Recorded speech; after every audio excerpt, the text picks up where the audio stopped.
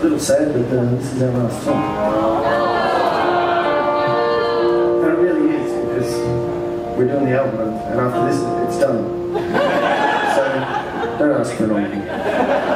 You can just, yeah.